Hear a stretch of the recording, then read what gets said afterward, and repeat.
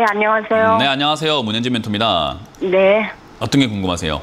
주성 엔지니어링이요.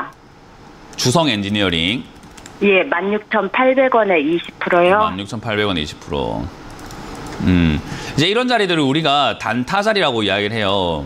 예. 이런 건 이제 단타를 좀 하시는 분들, 잘 하시는 분들, 조금 단타에 대한 조예가 깊으신 분들이 하시는 자리거든요.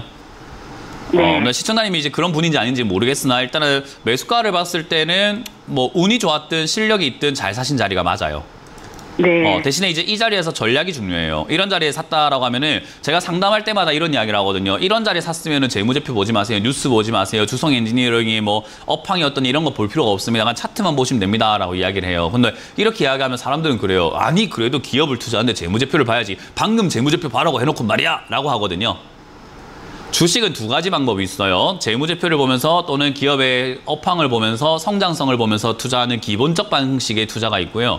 기술적인 방식의 투자가 있어요. 차트를 보는 방식이거든요. 차트를 보는 매매도 유효하기 때문에 기술적 분석하는 사람과 기본적 분석하는 사람들이 굉장히 어, 이렇게 골고루 나뉘어져 있어요. 둘 다 돈 버는 방식입니다.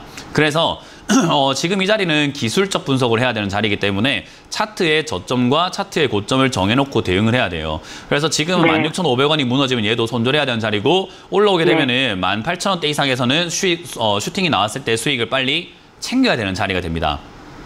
네. 그래서 지금 오늘 이 17,200원짜리가 고점 라인 때 같은데 저 자리를 뚫지를 못했다라는 것은 다시 밀려 내려갈 가능성이 있다라고 봐야 되고요. 뚫으려고 네. 했던 시도가 있다라는 걸 생각 한번 해볼 때 지금은 아니라도 나중에 뚫을 수도 있겠구나 생각하고 기대하고 가져가 보는 겁니다. 대신에 어디를 지켰을 때 기대해 보냐면 16,500원을 지켰을 때까지만 기대를 해보는 거예요. 아, 네. 16,500원이 지지가 안 되면 어떻게 해야 될까요? 예.